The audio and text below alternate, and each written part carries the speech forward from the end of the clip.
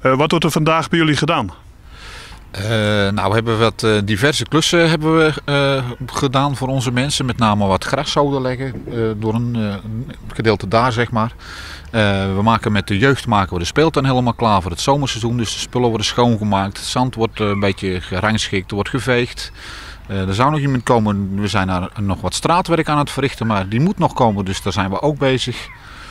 En we zijn nog bezig aan de overkant om de wei op orde te maken, de afrasting. Want er komen straks wat schapen met lammetjes te lopen. Uh, we hebben ook een uh, knuffelwei. Daar zijn we afgelopen jaar zijn we behoorlijk bezig geweest om daar een hele leuke nieuwe rondwandeling uh, te maken zodat je inderdaad uh, ja, dat het wat speelser wordt. Maar we vinden het dus heel belangrijk dat het publiek in aanraking komt met de dieren. Kinderen moeten in contact komen, knuffelen met de dieren. Uh, zijn er op jullie oproep uh, vrijwilligers afgekomen van buiten jullie eigen organisatie? We maken er ook best wel wat publiciteit mee. Hè? Dus op onze website, onze Facebook, mond-to-mond reclame. Al onze vrijwilligers, we hebben iets van 40 vrijwilligers, die krijgen allemaal mails. En, maar het blijft een beetje achter. Pamfletten afgegeven, zelfs op het gemeentehuis heeft iemand gedaan om ook de ambtenaren achter hun bureau vandaan te krijgen en hier te komen helpen. Maar...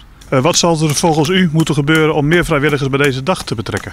Het is dus heel goed om met elkaar de initiatieven te tonen, zodat je dan ook even een boost kan geven aan de vrijwilligers die het hele jaar voor staan.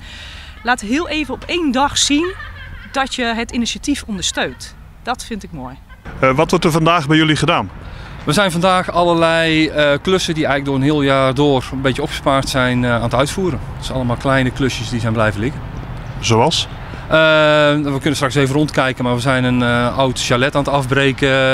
we zijn een loods waar we vorig jaar aan gewerkt hebben, verder aan het afronden. er worden wat bomen bijgeplant. de ruimtes worden weer goed schoongemaakt. er wordt geverfd.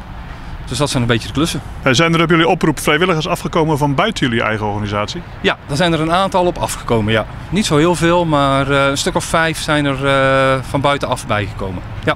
En waar komen die allemaal vandaan? Allemaal uit Hank. Ja, de vrijwilligers uit Hank. Ja. Is het doel van NL Doet volgens u gehaald?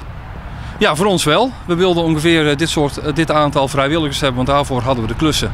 Dus dat, uh, ja, we zijn met die 30 vrijwilligers heel blij. We zijn op twee plaatsen bezig. We zijn hier en bij ons in de haven bezig.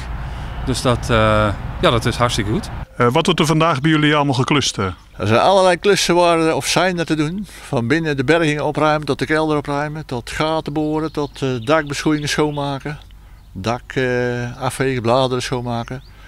Alles in en om de hoofd wordt eigenlijk gerealiseerd. zijn er op jullie oproep vrijwilligers afgekomen van buiten de eigen organisatie? Vandaag niet. Normaal uh, gebeurt er wel meer moet ik zeggen, maar we hebben zelf iets minder actie ondernomen. En dan kun je toch zien dat dat gelijk zijn, uh, zijn weerslag een beetje heeft. Uh, wat zou er volgens u moeten gebeuren om meer vrijwilligers bij deze dag te betrekken? Nou, als wij ze persoonlijk benaderen of gaan bellen, dan is het geen probleem. Dan loopt je zo een koppel van 20, 30 man.